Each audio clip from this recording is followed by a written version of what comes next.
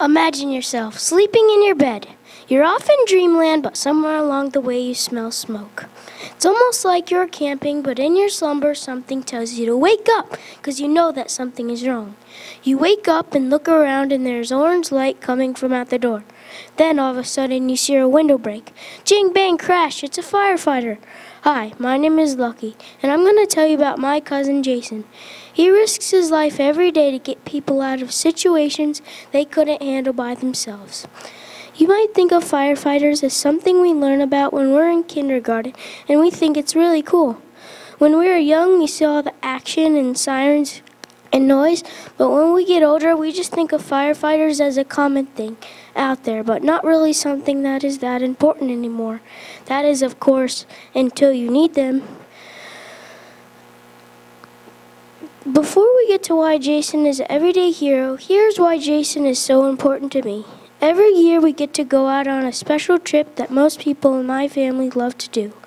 That thing that most people in my family love to do is offshore fishing and shark fishing on the beach. I've caught two seven foot nurse sharks. He helped a little. Jason is the captain of good times. I love hanging out with Jason because he can make a good time out of anything.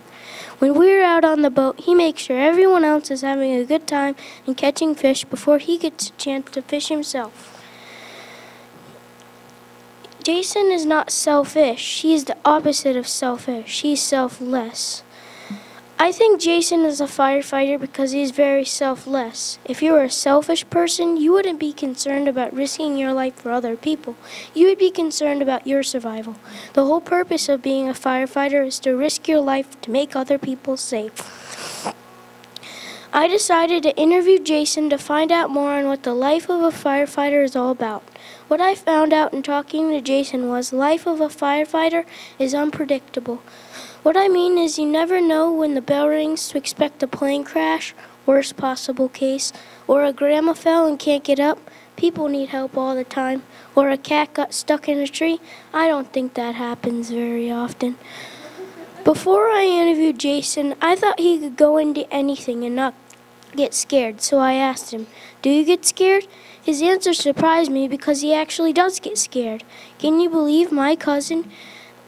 Jason, the firefighter, the captain of Good Times, the fisherman rock star, actually gets scared.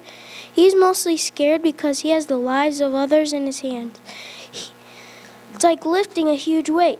A quote from Franklin Roosevelt. Courage is not the absence of fear, but the decision that something else is more important than fear.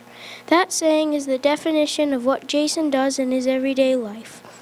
Jason is also scared because he does not want people to die doesn't want to die himself, and wants to get home with a smile on his face and say, I had a great day at work today to his family. Jason cares about other people a great deal, his family and friends, and even people he doesn't even know. That is my definition of selfless having empathy, caring, compassion, and being in service to other people no matter what happens in the bearings. And I want you to do something that can impact the world today. You don't have to save someone from a fire. That takes a lot of training. You can be selfless today by giving someone you pass a smile or helping someone when they're not being treated fairly. Be like my cousin Jason, the captain of good times, the fisherman rock star, the firefighter. Thank you.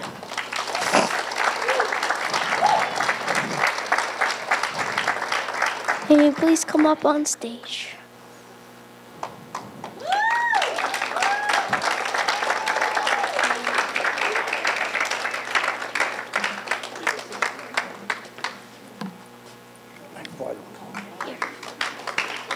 Thank you.